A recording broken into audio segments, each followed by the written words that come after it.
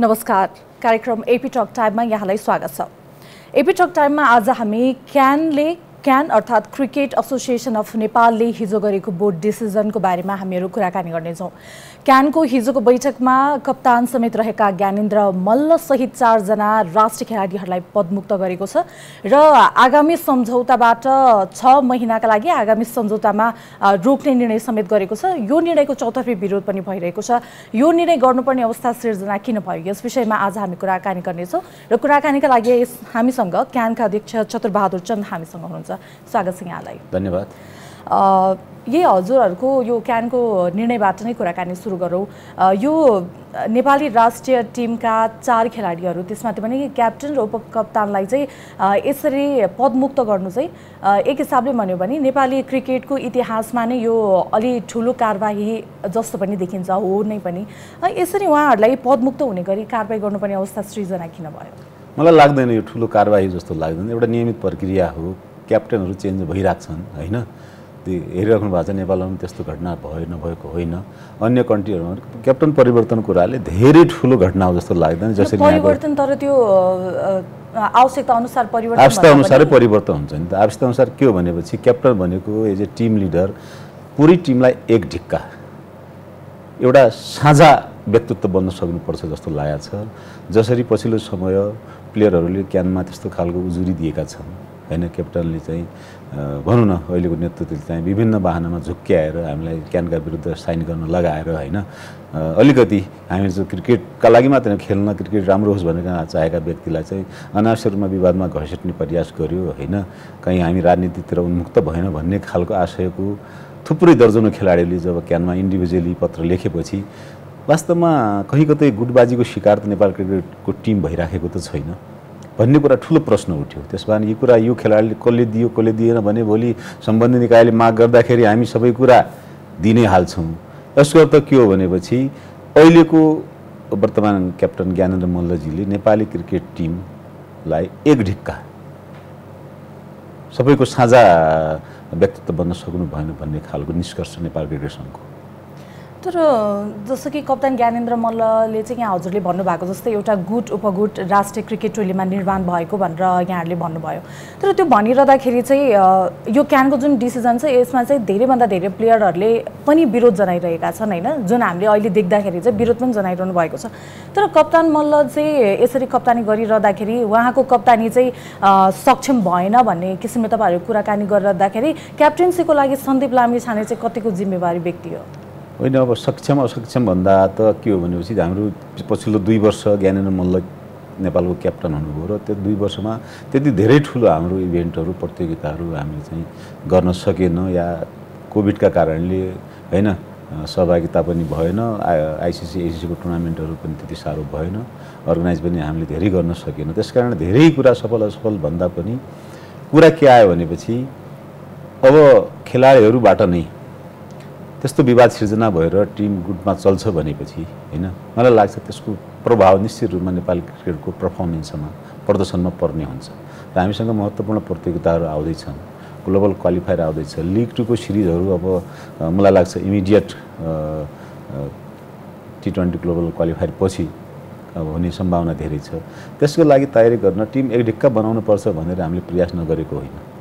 तर बिचमा आएर दुई हजार एक्काइसको प्लेयर्स ग्रेडिङ एबिसीमा जो हामीले प्लेयरहरूलाई चाहिँ हामीले चाहिँ एउटा विभ के अरे वर्गीकरण गर्ने एउटा समिति बनाएका थियौँ। त्यो समितिले क्राइटेरिया बन बनाएर त्यो क्राइटेरिया पास गरेर सर्वसम्मत रूपमा गरेको निर्णयलाई क्यानले चाहिँ बोर्डले नै सर्वसम्मतिको रूपमा पारित गरेर त्यसलाई चाहिँ हामीले लागू गर्दाखेरि केही त्यहाँ कन्ट्रोभर्सीका कुरा आयो केही विवादका कुरा आयो।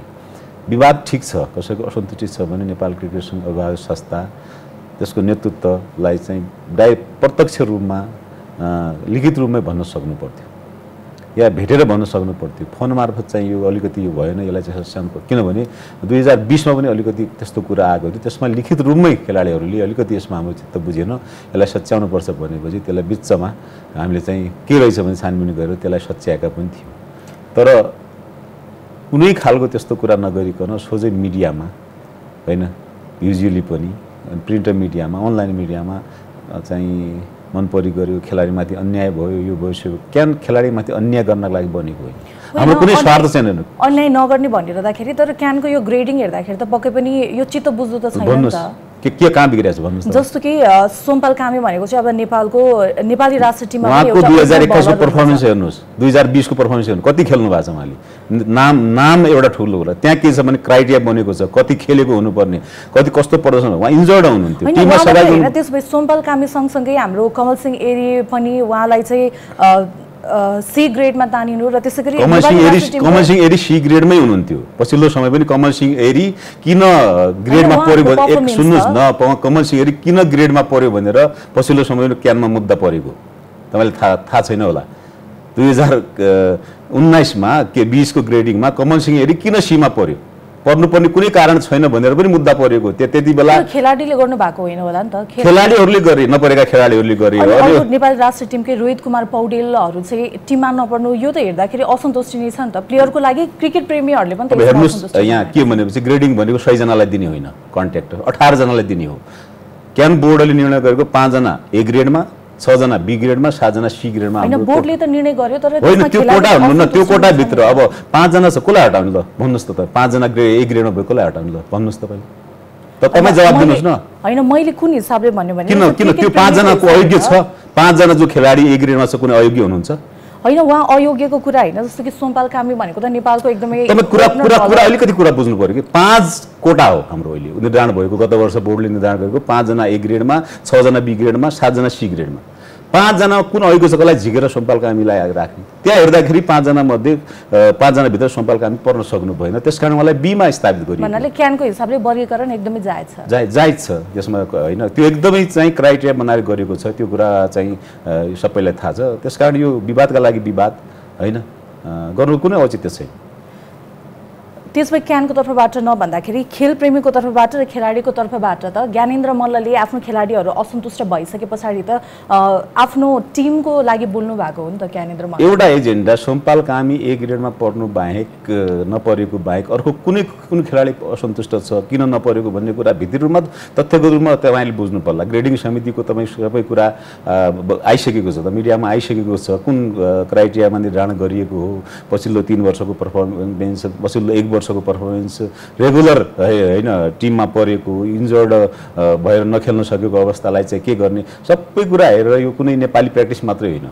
विभिन्न कन्ट्रीको इन्टरनेसनल प्र्याक्टिसका आधारमा विज्ञहरू समेत समावेश भएको एउटा चाहिँ टिमले यो निर्णय गरेको कुरालाई चाहिँ ठिक छ त्यसमा पनि गल्ती भयो होला तपाईँले भनिराख्नु भएको छ होइन। धेरै भित्री कुरा तपाईँलाई थाहा नहुनसक्छ धेरै क्राइटेरियाको कुरो बारेमा तपाईँलाई थाहा नहुनसक्छ। भयो होला गल्ती भयो होला म भन्छु मान्छे हो समूह हो बोर्ड हो त्यसको हाले पनि निर्णय गल्ती हुन्छ। त त्यो कुरालाई चाहिँ उहाँले चाहिँ खे- मा के हाम्रो चाहिँ क्यानको माथतको सस् के अरे खेलाडी के अरे जिम्मेवार सदस्य होइन?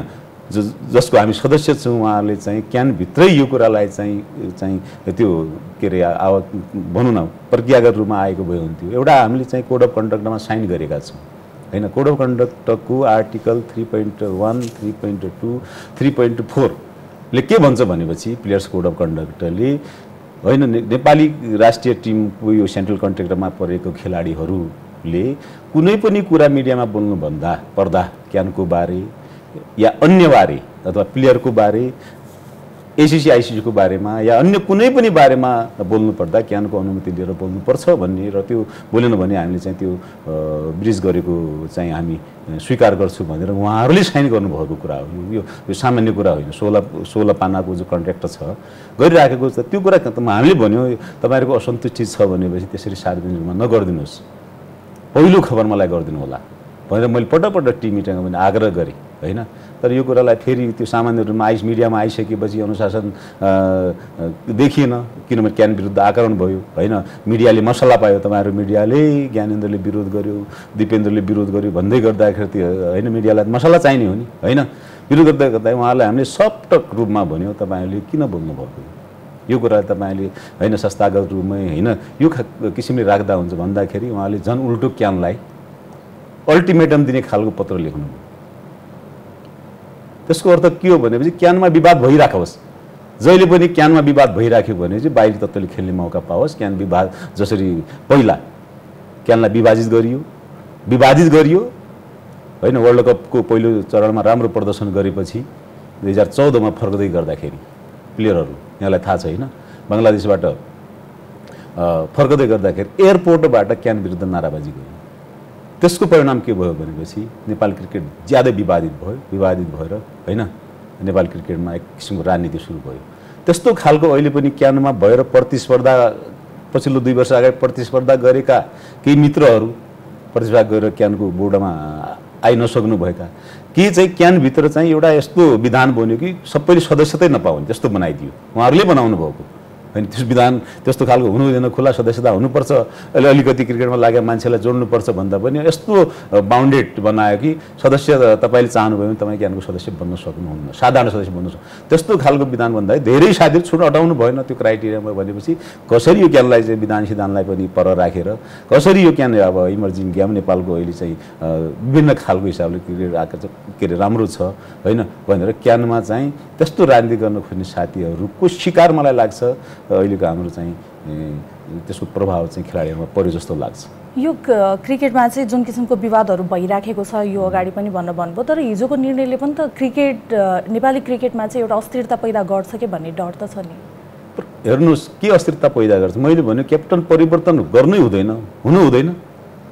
भएका छैन क्याप्टन क्याप्टन परिवर्तनसँगै भाइस क्याप्टन पनि परिवर्तन र सँगै चारजना खेलाडीहरू। परिवर्तन हुन्छ। खेलाडी होइन खेलाडी सायद यो खेलाडी प्रेमीहरूको पनि अहिले जुन सोसियल मिडियामा देखिन्छ सबैतिर उहाँहरूको एउटा के डर हो भने अबको दुई महिनामा भनौँ न फेब्रुअरीमा एउटा वर्ल्ड कप क्वालिफायर नै छ। त्यसमा चाहिँ यस किसिमले उहाँहरूलाई चाहिँ पदमुक्त गरिँदाखेरि त्यसले चाहिँ खेलमा असर गर्ने हो कि भन्ने डर क्रिकेट प्रेमी खेलमा होइन हेर्नुहोस् उहाँ खेल्न खेल्न पाउने अधिकारबाट उहाँलाई वञ्चित गरिएको छैन। जसले राम्रो खेल्छ उसको इज्जत बढ्छ र जसले राम्रो खेल्छ ऊ सम्मानित पनि भन्छ होइन? क्रिकेटमा खेल्नमा मात्रै ध्यान दिएर होइन? आफसे आफ चाहिँ क्रिकेट बोर्डले त्यो खालको सुविधाहरू प्रोभाइड गर्ने हामीले नगर्न खोजेको नगर्न खोजेको होइन। पछिल्लो समय हामीले प्लेयर्सको लाई चाहिँ स्यालेरीको हिसाबले पनि अलिक बढाउन खोजेको होइन? अन्य पनि कामहरू गर्न खोजेको म्याच फी पहिलोपटक सुरु गरेको ओडिआईको लागि दस हजार टी ट्वेन्टीको लागि पाँच हजार पर म्याच गरेको। अन्य सुविधाहरू पनि हामीले चाहिँ बढाउन नखोजेको किनभने के एउटा त के छ भनेपछि बजारमा चाहिँ क्यानको विरुद्ध यस्तो खालको एउटा आक्रमण छ कि क्यानलाई चाहिँ बजारमा छिर्नै नदिने मार्केटमा होइन? अर्को खालको साधन स्रोत नभएको अवस्थामा पनि क्रिकेट सङ्घलाई चाहिँ र खेलाडीहरूको सम्मान गर्दै अगाडि बढाउनु पर्ने र पर्फर्मेन्सको हिसाबले नेपाल क्रिकेटलाई चाहिँ स्थापित गर्नुपर्ने होइन? ओडिआई कन्ट्रीको रूपमा हामीले चाहिँ रहिरहनु पर्ने होइन? माथि आउनुपर्ने भन्ने खालको एउटा छ त्यसमा पनि कुनै बिग्रेको छ जस्तो लाग्दैन होइन? अहिलेसम्मको हिसाबले क्यानले सक्दो चाहिँ प्रयास गरेको छ टुर एरेन्ज गरेको छ टुर्नामेन्ट कोभिडको बेला पनि अर्गनाइज गर्न गर्ने प्रयास गरेको छ।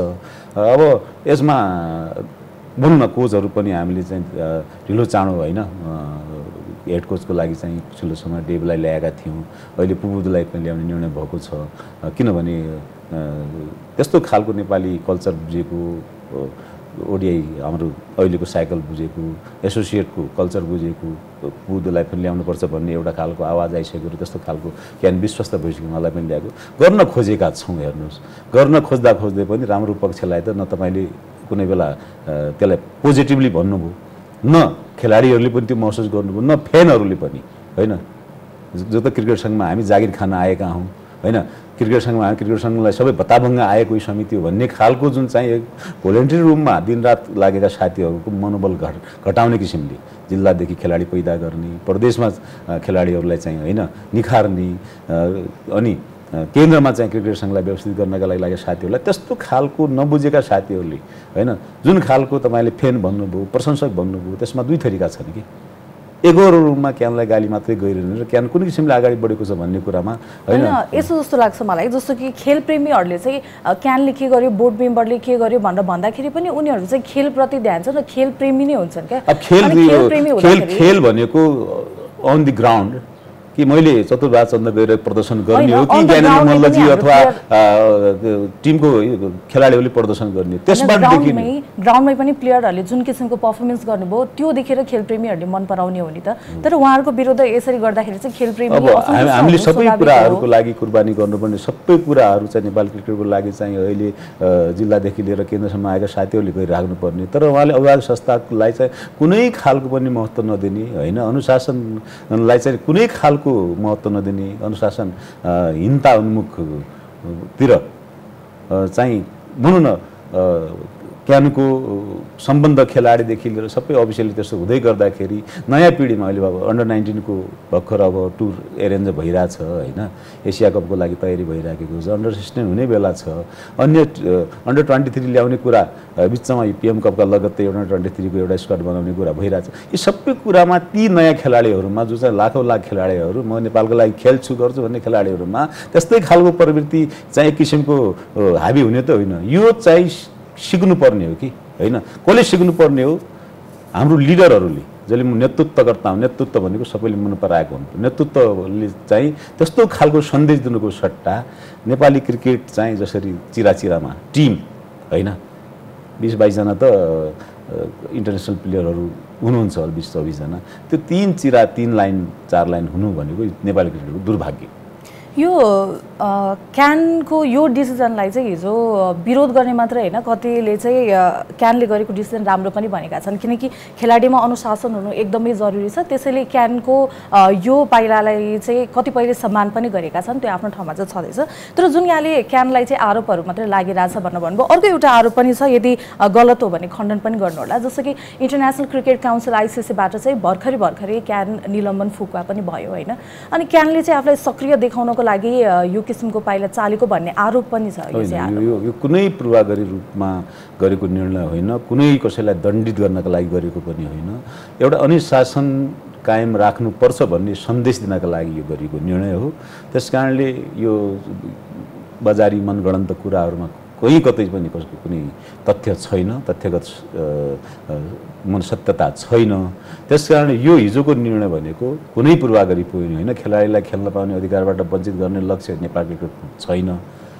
छ त हुँदै हुँदैन होइन उहाँलाई दिने सेवा सुविधा। मात्र के हो भनेपछि सेन्ट्रल कन्ट्र्याक्टमा अहिले पनि तिनजना खेलाडीहरूले दुईजना अहिलेको करेन्ट दुईजना प्लेयरहरूले साइन गर्नुभएको छैन। क्यानको पनि एउटा रुल रेगुलेसन छ आइसिसीको पनि एउटा रुल रेगुलेसन छ। सर्टेन टाइमभित्र चाहिँ आइसिसीबाट रिलिज भएको फन्ड खर्च भएन भने त्यो फन्ड के हुन्छ? फेरि आइसिसीमा रिटर्न गर्नुपर्छ। हामीले चाहिँ प्लेयरहरूलाई चाहिँ यो चाँडोभन्दा चाँडो चाहिँ कन्ट्र्याक्ट गर भन्दाखेरि के साथीहरूले गर्नु भएन र अब त्यो चाहिँ क्लोज भयो। र अब यो जहाँसम्म यो क्यानको अनुशासनको कुरा छ खेलाडीहरूले चाहिँ केही सार्वजनिक रूपमै होइन आफ्नो चाहिँ कोड अफ कन्डक्ट उल्लङ्घन गरेको कुरा छ त्यसबारेमा अहिले प्रारम्भिक रूपमा चाहिँ पछि हामी एजिएममा पनि यो कुरा लान्छौँ होइन? बोर्डले निर्णय गरेको हाम्रो इमिडिएट दस दिनपछि एजिएम छ यहाँलाई थाहा छ होइन? एजिएममा पनि यो कुरा ला लग्छौँ। एजिएमले के भन्छ यो कुरा होइन? किनभनेपछि बोर्डले गरेको निर्णयहरू एजिएमलाई जानकारी दिनु हाम्रो कर्तव्य हुन्छ। र यो पहिलो छ महिनाका लागि खेलाडीहरूलाई चाहिँ सेन्ट्रल कन्ट्र्याक्टमा हाम्रो चाहिँ ग्रेडिङमा चाहिँ अहिलेलाई समावेश नगर्ने भन्ने खालको हिजोको निर्णय हो। यो छ महिनापछि चाहिँ त्यसो भए के हुन्छ? जस्तो कि उहाँहरू जुन पदमुक्त हुनुभएको छ उहाँहरू जस्तो कि ज्ञानेन्द्र मल्ल दिपेन्द्र सिंह ऐरी फेरि पनि क्याप्टेन्सी र भाइस क्याप्टेन्सीमा फर्किन त्यो सक्ने त परिस्थिति। परिस्थिति के आउँछ? त्यो परिस्थितिले भन्ने कुरा हो होइन? परिस्थितिले के आउँछ? त्यो त छ महिनापछि अहिले भन्न सकिन्न होइन? त्यो परिस्थितिले के हुन्छ? कसको आवश्यकता छ होइन? कसले सहकार्य गरेर नेपाली क्रिकेट टिमलाई चाहिँ अगाडि बढाउन सक्छ? कसले एक ढिक्का राख्न सक्छ भन्ने खालको यो त छ महिनापछिकै कुरा हो। यो हिजोको जुन क्याप्टेन्सी चाहिँ सन्दीप लामी छानेलाई दिने कुरा भइसके पछाडि उहाँ जब कि नेपालमा पनि हुनुहुन्न होइन? सन्दीप लामी छानेलाई नै as a Nepali cricket team captain choose गर्नुपर्ने कारणहरू चाहिँ के के अब सञ्जीव लामी छाने पनि अब इन्टरनेसनली धेरै एक्सपिरियन्स भइसके धेरै अनुभव छ। फ्रेन्चाइजीको पनि क्याप्टनसिप गरिसकेका छन् होइन? त्यस कारण सन्दीप लामी छाने अब मलाई लाग्छ एउटा योग्य पात्र हुन् कि भन्ने बोर्डले चाहिँ एउटा छलफल गरेर लामै छलफल गरेर डिसिसन गरेको जस्तो लाग्छ। तर त्यही कुरा आइरहँदाखेरि जस्तो कि सन्दीप लामी छानेसँग इन्टरनेसनल लिगहरू खेलेको एक्सपिरियन्स त हुँदैछ छ पनि। तर त्यसमा चाहिँ नेपाली क्रिकेट टिमको कप्तानै बन्नुपर्ने समय चाहिँ सन्दीपको अलि छैन कि भन्ने कुरा पनि आइरहेछ किनकि हाम्रो टिममा हेर्ने पनि सिनियर खेलाडीहरू धेरै हुनुहुन्छ नि त। शरद विश्वाकरलाई सबै मान्छेले अब एज अ क्याप्टन देख्न चाहेको पनि हो फेरि पनि खेलप्रेमीकै कुराहरू आवाजहरू भन्दाखेरि अनि त्यसै गरी विनोद भण्डारी सिनियर टिमहरू प्लेयरहरू हुनुहुन्थ्यो होइन अब तपाईँलाई कतिको याद छ? विनोद दासलाई क्याप्टनबाट भनौँ न जिम्मेवारीबाट हटाउँदै गर्दा पारस खड्कालाई चाहिँ क्याप्टन बनाउँदै गर्दाखेरि कि नेपाली टिममा सिनियर खेलाडी थिएनन् त? धेरै सिनियर खेलाडी हुनुहुन्थ्यो। तर एउटा क्यानले पनि निश्चित एउटा लक्ष्यसहित एउटा केही निर्णय गरेको होला जस्तो लाग्छ होइन?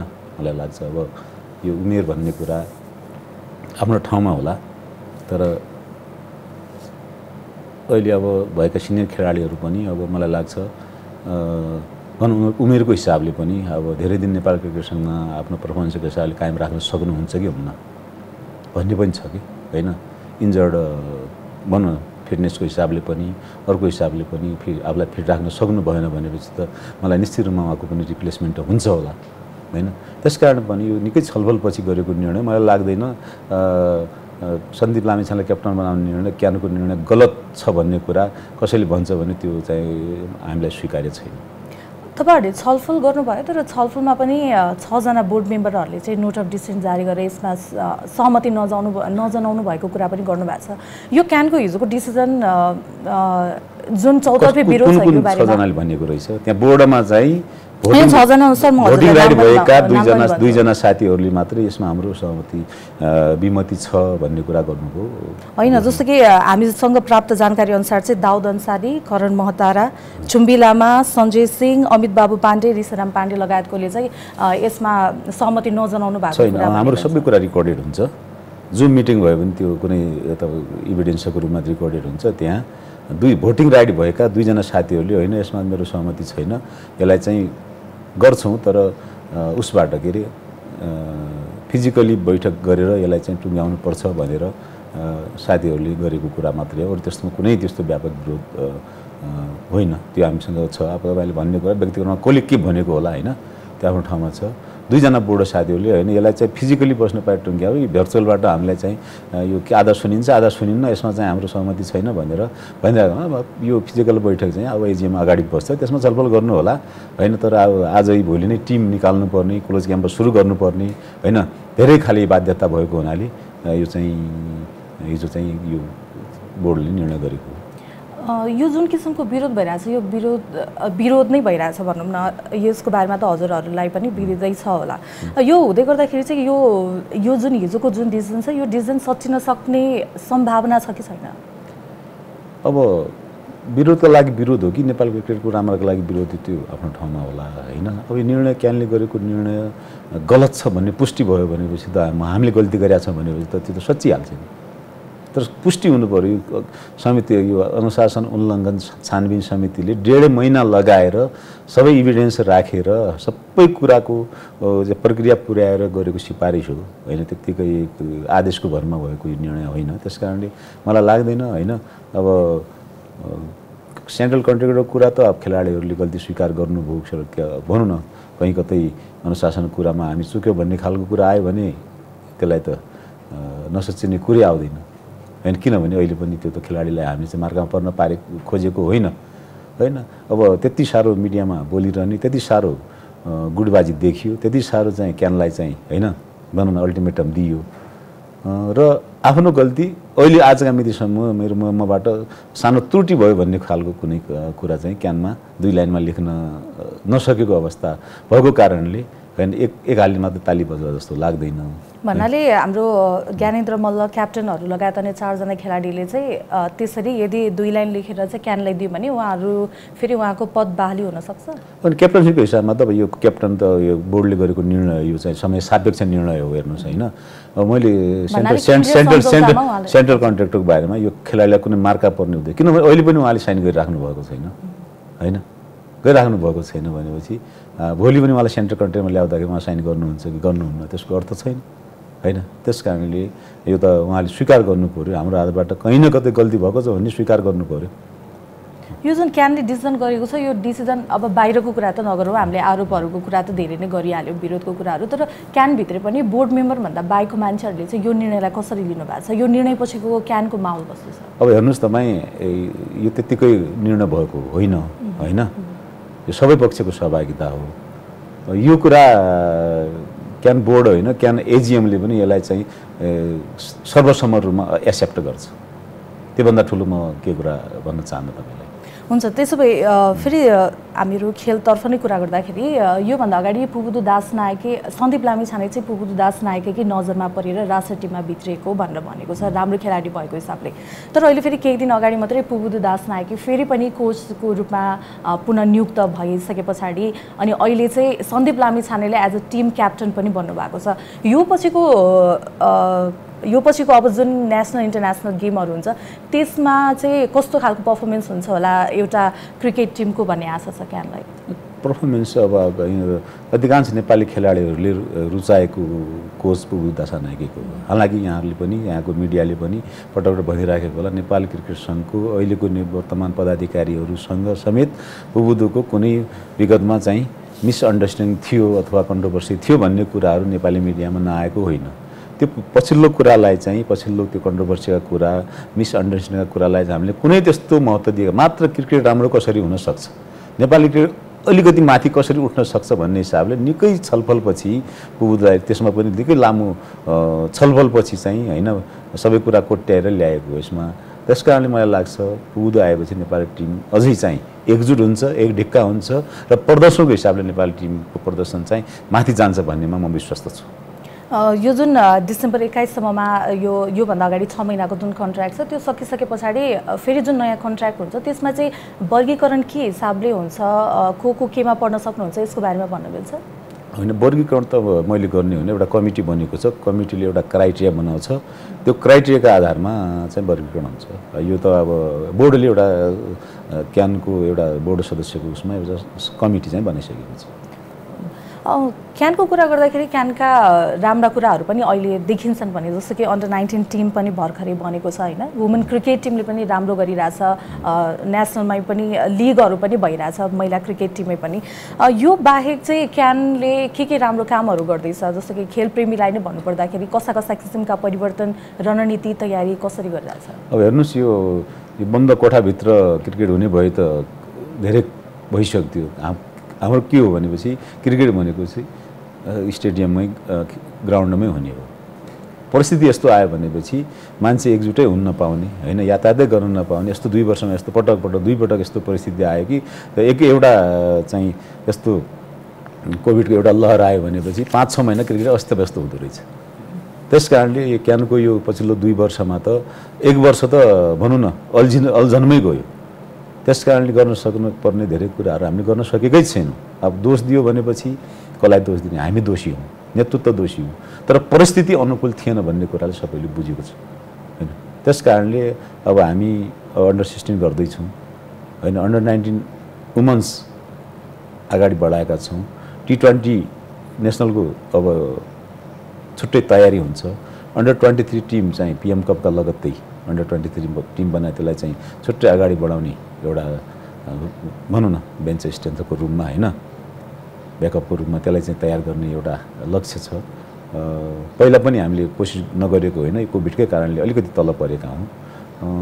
र बाँकी सेवा सुविधाको हिसाबले पनि प्लेयरहरूलाई गर्ल्स प्लेयरहरूलाई प्लेयरहरूलाई दिने सेवा सुविधामा पनि अब त्यही अनुसार समय सापेक्ष बढोत्तरी गरेर अगाडि बढ्ने हो। हरेक प्रोभिन्समा कमसेकम एउटा कोच दुईवटा कोच तिनवटा कोचसम्म पनि प्रोभिन्सको डिस्ट्रिक्टहरूको सङ्ख्या हेरेर प्रोभिन्सनल कोच राखेका छौँ। र ती कोचहरूबाट मलाई लाग्छ ग्रास रुट क्रिकेट चाहिँ अलिकति देखिने होइन? अन्डर सिक्सटिन क्रिकेट चाहिँ देखिन्छ र खेलाडीहरू चाहिँ निखारेर आउँछन् भन्ने कुरो विश्वस्त छु। र जिल्ला क्षेत्रलाई पनि त्यही खालको एउटा सुविधा दिएर अलिकति बलियो बनाउने खेल सामग्री दिएर र अन्य उहाँहरूलाई चाहिँ सशक्त बनाउने किसिमले अगाडि बढेका छौँ।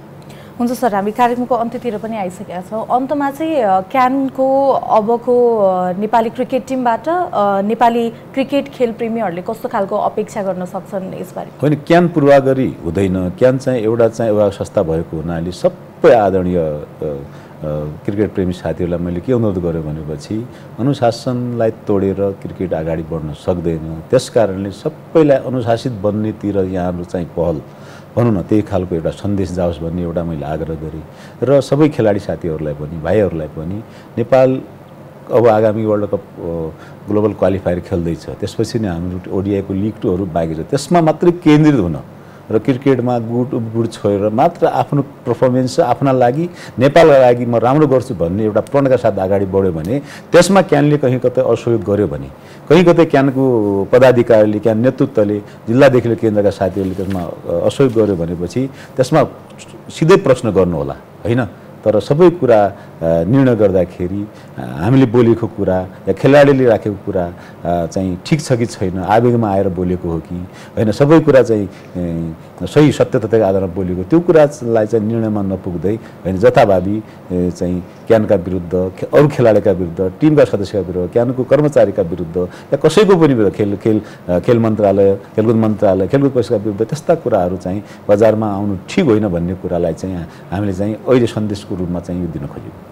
हुन्छ सर कुराकानीका लागि यहाँलाई धेरै धेरै धन्यवाद यहाँलाई पनि धेरै धेरै धन्यवाद दर्शकवृन्द आज हामीले क्यानका अध्यक्ष चतुरबहादुर चन्दसँग क्यानले हिजो गरेको निर्णयहरू जसमा चाहिँ राष्ट्रिय टिमका चार खेलाडीहरूलाई पदमुक्त गर्ने निर्णय गरेको थियो त्यसबारेमा कुराकानी गऱ्यौँ आजलाई एपी टक टाइम यहीँ सकिन्छ हामीलाई पनि बिदा दिनुहोस् नमस्कार